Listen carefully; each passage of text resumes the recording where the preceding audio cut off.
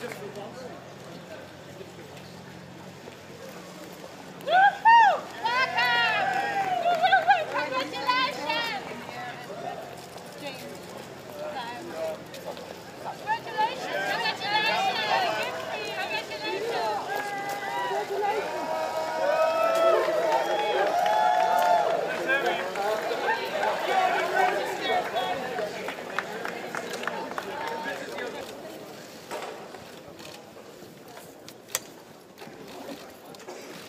Uh, Margriet, competitors, supporters, families and friends. I'm obviously delighted to be here today to help mark the countdown to the Invictus Games, The Hague 2020. When we launched the first Invictus Games in 2014, I knew that these men and women who had given it their all in service to their country would now do the same on the sports field, inspiring millions of people around the world and changing mindsets around disability forever.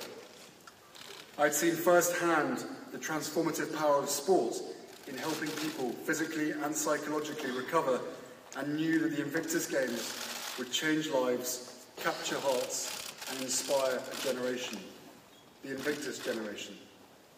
Now, here we are, launching the countdown to the fifth Invictus Games, and I am absolutely thrilled that many more wounded, injured and sick servicemen and women will have the opportunity to continue their journey to recovery.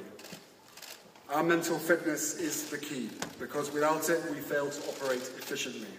But with it, your physical performance and potential are exponentially improved, and we have witnessed this over and over again.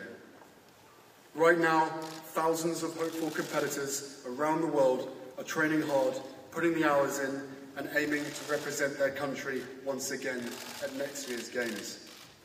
19 nations will be represented here standing shoulder to shoulder and showing the world what teamwork, friendship, and loyalty really means.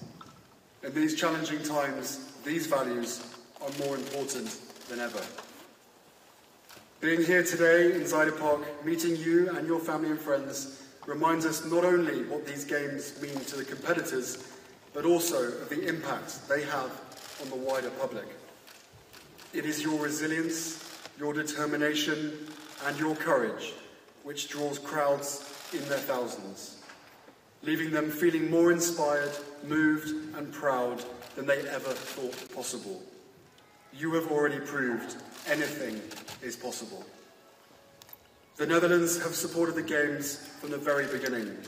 I think we can all clearly remember seeing a sea of orange in the crowds in Orlando, London, Toronto, and Sydney, as well as hearing you.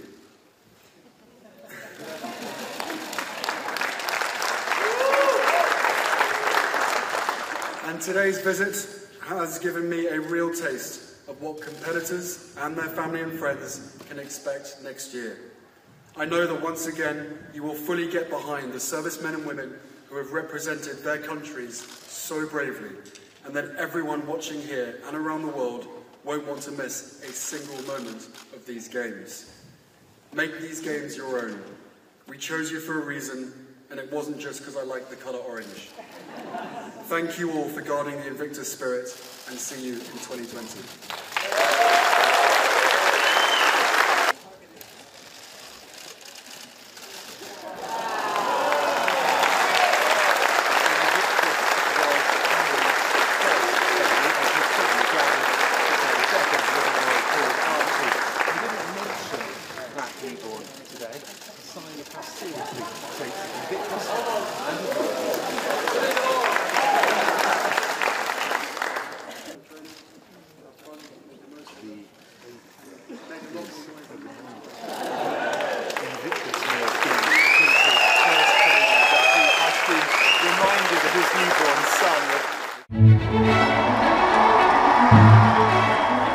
I declare before you all that my whole life, whether it be long or short, shall be devoted to your service and to the service of our great imperial family to which we all belong.